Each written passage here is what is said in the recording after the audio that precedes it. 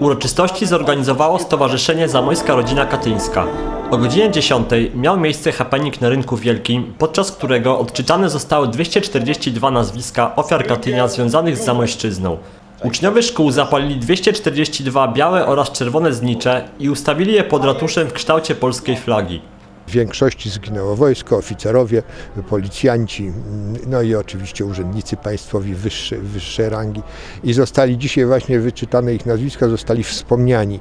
Bardzo nam było przyjemnie, bo to są nasi e, często przodkowie, których wspominamy i których ciągle nam brakuje. Pod tymi nazwiskami kryli się normalni ludzie, którzy posiadali własne rodziny, własne słabości, własne radości. Byli to normalni ludzie, wspaniali ludzie, którzy swoim świadectwem, a więc oddania tego, co jest najwartościowsze, to jest, co jest najwyższe, życie poświęcili dla, dla nas, dla naszej wolności, dla kraju, dla Polski. Mimo iż minęło wiele lat, wspomnienie tamtej tragedii wciąż żyje w sercach rodzin ofiar Katynia.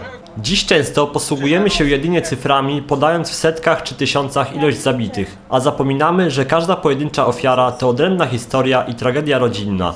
Mojej mamusi brat został zamordowany e, w Starobielsku strzałem w tył głowy, e, tak jak wszyscy, którzy z, e, rozkazu Stalina w, w roku 40 na, prze, na przestrzeni czasowej, a więc od e, kwietnia do końca, niespełna końca maja, e, zostali rozstrzeliwani na nieludzkiej ziemi. Ponad 25 tysięcy naszych wspaniałych bohaterów różnych zawodów, różnych przynależności, różnych formacji wojskowych zostali e, zamordowani.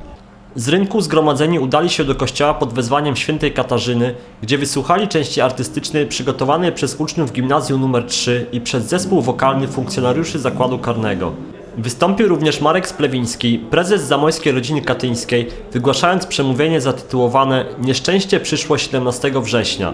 Była to poruszająca lekcja historii, zadedykowana głównie dla licznie zgromadzonej młodzieży, bo też podwójny był sens wczorajszych obchodów. Pierwszy, aby upamiętnić polskich bohaterów i drugi, aby przekazać pamięć o nich młodemu pokoleniu. Chodzi o to, tak jak powiedział ksiądz biskup, ażeby edukować patriotycznie, ażeby młodzież spoglądała we właściwym kierunku.